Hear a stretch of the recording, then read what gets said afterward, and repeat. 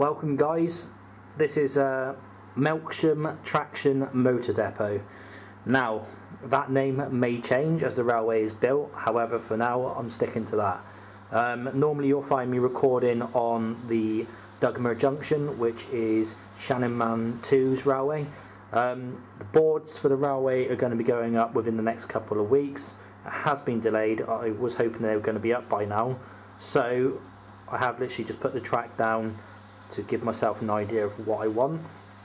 By the way, when you've seen the Kenilworth Castle going around just a moment ago, typically when it went past the camera, went up the top end of the straight, it just stopped working. Um, I can hear the motor trying to work, it's just spinning and spinning and spinning, but the wheels are, going, are not going around. If I disconnect the coaches, he will go around, but as soon as I put the coaches on, he doesn't want to know, he just spins in the same place. So maybe there's a cog inside or something which isn't connecting properly, I don't know.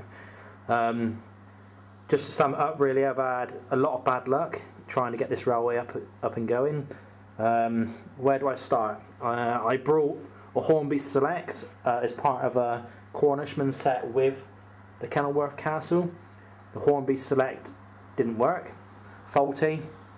Sent it back to Hornby, they were brilliant, good as gold, they fixed it and um, sent it back to me and it worked. Um, I then bought the mixed freight traffic set as well, where you've got the Ginty and the little 08 with a couple of wagons and an oil tanker.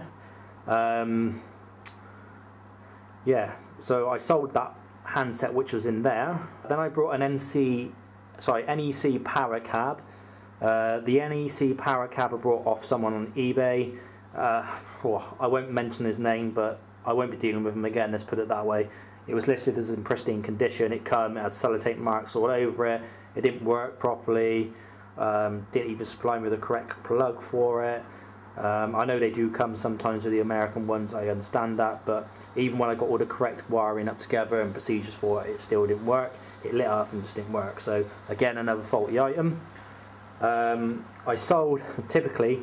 I sold the other select which did work because the NEC was coming so I was left with no controllers. Um, so yeah, I was, I was a bit stuck. So what I did, I sent the uh, NEC back. Um, after about two weeks of eBay disputes, I finally got my money back. And um, Five Elms, uh, the, I seen one of his videos where he had the Hornby E-Link, um, and I instantly thought, right, I'm going to go with that. Uh, the Hornby E-Link uh, is probably due down to droppers in the track, which uh, Five has advised me of, so thanks Jason. But um, I have been having a few power shortages, but hopefully that will be resolved once I've got it on boards and I can put some droppers in. Um, what other bad luck have I had? Um, yeah, Hornby E-Link, going back to that. I purchased one off eBay, I like eBay. Purchased one off eBay and the first one didn't work just faulty, didn't work at all. Sent it back to the seller. Uh, he sent me a replacement. The replacement come faulty, didn't work. Um, so then I sent that one off. I thought, well, I'm not going to send it back to the seller. So I sent it back directly to Hornby. Hornby fixed the E-Link, sent it back. Well, I think they just sent me a new one to be fair. Um, and I've got it working finally. Seems like forever.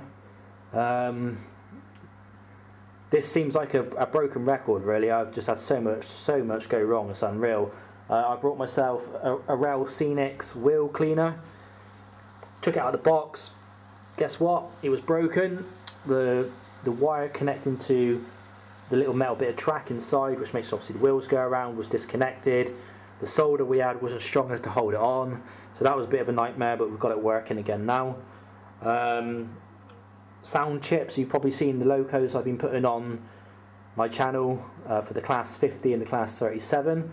Uh, the, the class 50 and 37 one cost me just over 200 quid uh, combined with the postage. Um, the class 51 come didn't work. The sound was all distort. It didn't come out unless I put my finger gently onto the speaker.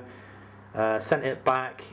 Got a replacement sent out within about three days with an hour, uh, in total with about an hour of actually running it the sound chip blew well not the chip but the actual speaker blew or something was wrong with it so that had to be sent back to get a replacement um, got the replacement back and it's gone again and then sent it back, and guess what? It went again. So my class 50 with the sound currently doesn't, well, has sound, but the, the speaker is blown on it at the moment. So I don't know if it's me doing something wrong or they're just not very good speakers within the, uh, which are attached to the chips, but that's another little issue I've got to sort out now. Um, class 37 when that sound chip when that first come didn't work at all. Sent it back. Apparently it had um, corrupt CVs on it. Sent me another one replacement. That works perfectly fine so I'm happy with that. No problems at all. As you can see it's going around now. Um, but yeah I'm just not very happy. I've got the, the class 50 which needs to have a new speaker fitted rather than sending it back I think I'm just going to buy another speaker and try and do it myself because I would imagine that the person I bought the chips off is probably getting a bit fed up with me sending it back, even though it's not my fault. If it doesn't work, it doesn't work. But there you go. Um, Kenilworth Castle. Um, the the chip. When I was trying out the Hornby E-Link for the first time, I was trying to program the the chip in Kenilworth Castle, um, and I just was having no luck whatsoever. But when I was using the Kenilworth Castle on the Hornby Select, it was running around perfectly fine, no problems at all. When I got the E-Link back, which finally worked, the Kenilworth Castle went about oh, 100 yards I spent on the on the length of track, and then just slowed and slowed and slowed, made a bit of a noise, and just went just stopped. So I had to send that back to Hornby. They fixed it. It come back yesterday, it's been running around for about an hour now, and then just as I turn the camera on, it goes past the camera and just goes again.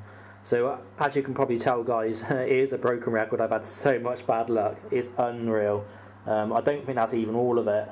Um, as you can see, that Bachmann building, which is over there, I brought that off eBay. I should really stop buying stuff off eBay. As you can probably see, the decals in the window, they haven't, they're not in there. Um, the, the roof on the top those of you who are familiar with the Bachmann double road depots, um, the roof should be stuck down, but it's not. It's loose. I would get up and show you. I'll, I'll do that on another video, but I can literally lift it up and down. It's broken. It's not not very good. Um, so yeah, I've just had lots and lots of bad luck really. But I'm hoping I'm going to start seeing some light at the end of the tunnel if I can just get this bloody Kenilworth Castle working and get another another speaker for the 50. Um, but yeah, that's about it really. Um, I'm not going to blabber on much more. Sorry, guys, I'm probably just waffling on here, but it's just I've been such a frustrating time over the last couple of months since I've been in this flat. I wanted to get in the flat, get the boards up, get a railway going, something to keep me entertained in the evening, just keep me occupied, uh, and get me off the Xbox really, because I spend far too much time on the Xbox. So I just wanted a, another hobby just to take my mind off things. But um, yeah, it's, it's not really going my way at the moment. Spent an awful lot of money, I feel, on on you know, on this railway at the moment. It doesn't look like a lot, but I probably spent a good five, six hundred pounds on it already, with all the track, the sound chips, the locomotives, um, bits you can't see, the buildings, ballast I brought for it, points, um, stuff to control the railway, like the E-links, for example, with Hornby Selects, NECs. All right, yes, I got some of the money back, but it still has to go back out again to, you know, get replacements. Um, another thing which went wrong with the Hornby E-Link, completely my fault though. Uh, I registered the Hornby E-Link and then my computer decided to go kaput. Um, so I had to do a system reboot on my computer, couldn't access my desktop. Then when I reloaded Windows onto it and reloaded Hornby um, Railmaster, I couldn't re-register the product key.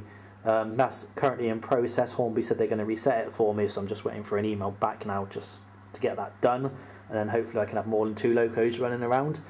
Um, I'll give you some sort of idea. I'll pick up the camera now to show you what the plan is. Um, hopefully, to give you some sort of idea. Any of you guys have any feedback, any suggestions on anything I've mentioned or advice, it's all welcome. I'm new to this, doing it on my own. Um, it's muchly appreciated. Um, anything you think I could do with the layout as well, because it is a bit of an odd shaped room as you will see, and you're going to have to excuse the mess. So let's have a quick look and we'll see, I'll show you what I've got to work with. Oh. So I'll start as you come in. Oh. So as you can see, it's, it's, a, it's a, spare room, it's uh, on the floor at the moment. It's a bit of an odd shaped room. Come around, you've got the corner piece here.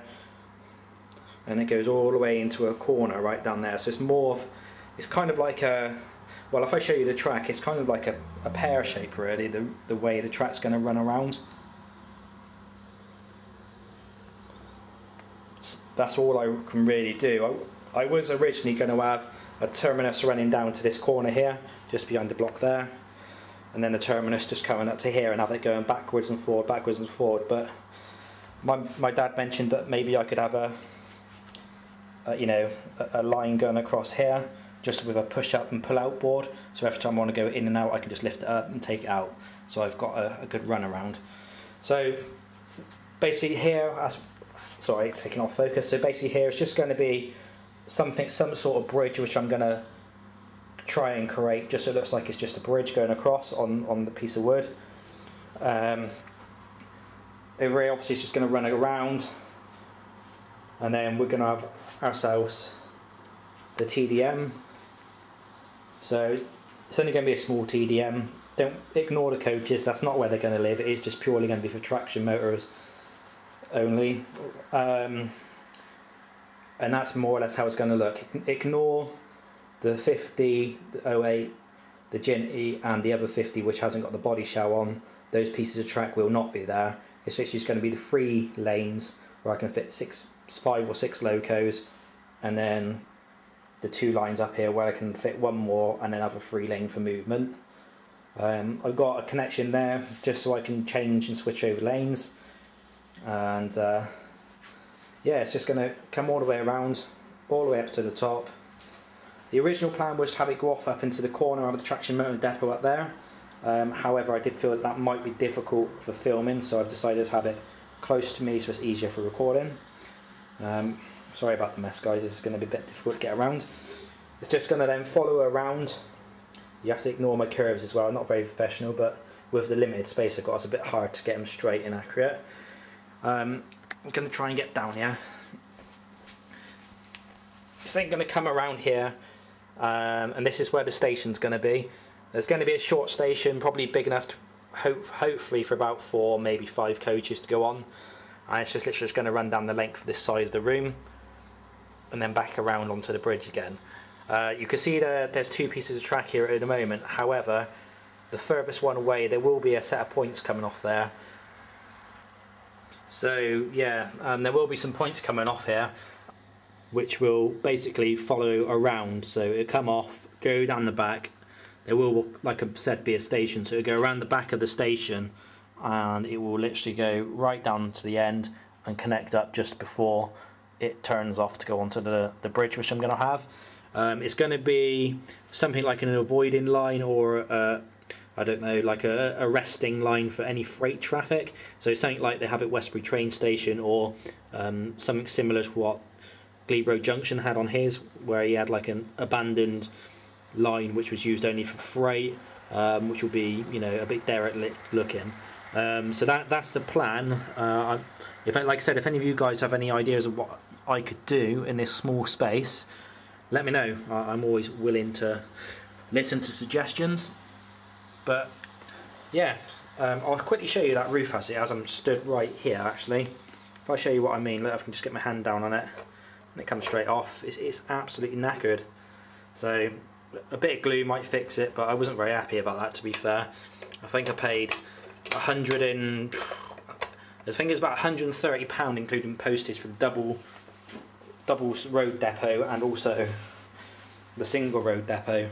Um, I was struggling to find them on eBay at the point that I wanted them, but there's, you know, they, they always do pop up, but I was struggling to find find them. I was trying to save on postage, but nothing wrong with the single, but the double I'm not very happy with, basically.